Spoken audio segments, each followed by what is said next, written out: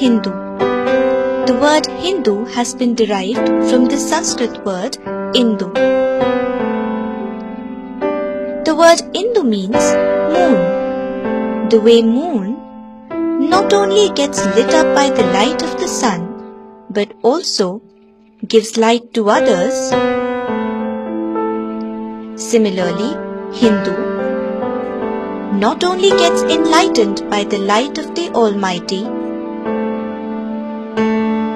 also enlightens the others around. The Vedas are the light of the Almighty. Almighty provides the essential knowledge that the human race would require right in the beginning of the nature in the form of Vedas. This knowledge is passed on from one generation to the other by listening to the older generation. It is precisely why the Vedas have been called Shruti also, which is the Sanskrit word for listening. In today's world, Vedas are available in the form of published books available for one and all.